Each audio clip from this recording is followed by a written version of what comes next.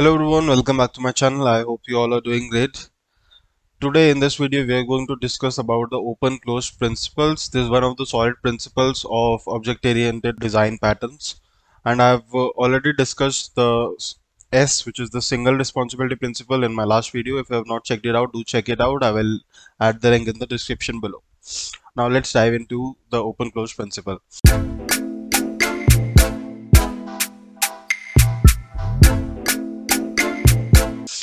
So the open close principle states that uh, a class or a function or any module that you basically use that should be open for extension but closed for modification. So what do we mean by this? We simply mean that suppose if you are making a class, you should not uh, you are making a class and you added some functionality to it. Now in the future, suppose you have to add some new functionality. Now when you want to add some new functionality, you don't want to modify your old class which you made you should be able to extend it. So let's see this with the help of an example. So in this we are designing a simple calculator. So what does this calculator do? It takes in the operation and perform uh, the operation on the given two integers. For example if the operation is equal to 0 then it simply returns the sum of the two. And if the operation is equal to 1 it returns the difference between the two. And similarly for multiplication now what's wrong with this class? Now suppose in future you have to add division also or some other function. So what you would have to do? Would have to create another else if condition that if operation is something something then you do that particular thing. So this in this you can see that we are actually modifying the class instead of being able to extend it easily. Now suppose there are 100 different operations. You would keep on typing else if else if else if which is like very bad kind of system. Uh, it makes the code lengthy and uh, it involves a lot of like manual work and the the kind of unit testing that you would have to do that would also be really tough in this case. So how can we improve this? So to improve this let's introduce a class called operation. In this we have uh, members like a and b which will be used for addition and subtraction or whatever operation that we want to perform. So these are the two integers. And there is just one public function which is the perform operation. Now this is an abstract class as we have declared this function as virtual. In C++ we do not have uh, interfaces. So that's how we uh, actually define interfaces uh, in C++ with the help of abstract classes.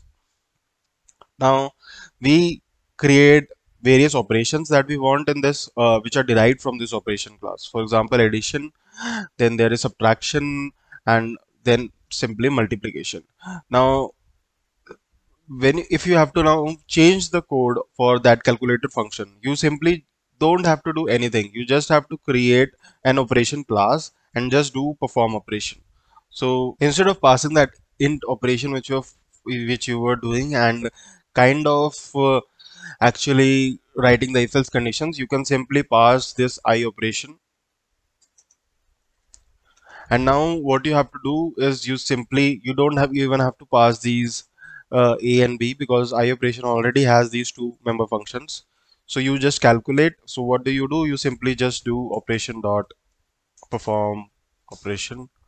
And uh, let's take this as int and you simply can return this whatever the result is. So in this you don't have to worry about what this operation is doing it can be of multiplication type it can be of addition type it can be of any subtraction type. Whatever it might be you can simply just do uh, dot perform operation and it will perform the desired operation. Now suppose you want to add a new operation. Now also you can just simply create a new class like class division extend it through i operation and uh, just create the perform operation function. Return a by b and that's all you have to do. You don't have to modify any other class. You don't have to do anything. So this code is kind of extensible. You can extend it to support different functions. So this is what open close principle talks about. So i hope you liked this video. If you did press the like button. Subscribe for more valuable content and i'll see you in the next one